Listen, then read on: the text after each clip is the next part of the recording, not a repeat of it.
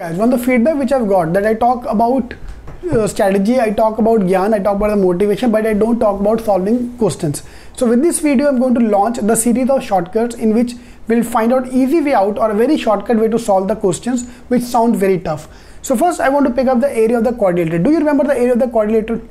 If I ask this question in the class, almost 80% people don't remember area of the quadrilateral. Half h1 plus h2 into d so half, if this is a diagonal D, this is half sum of the perpendiculars H1 and H2. So half sum of the altitude or sum of the perpendiculars into D is area of the quadrilateral, right?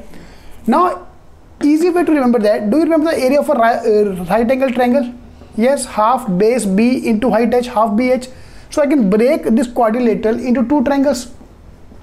Upper one area will become half H1D lower one will become half h1d so half h1d plus half h2d if i join them together it will become half h1 plus h2d so every diagram like this is based on a right angle triangle. So if you remember the formula of the right angle triangle i can rectify or i can remember all the formulas for every triangle ever made every figure ever made.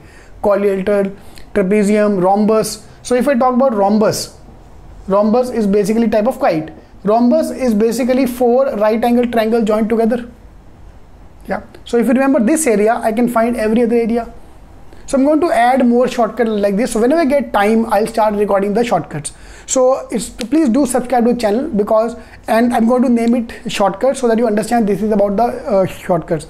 So first i'm taking up a few concepts. Then i directly jump on the questions. So i'm going to pick up cat XAT other exams cet questions sh uh, shortcuts as we go along so do subscribe to the channel if you have not yet done that. Alright, all the best.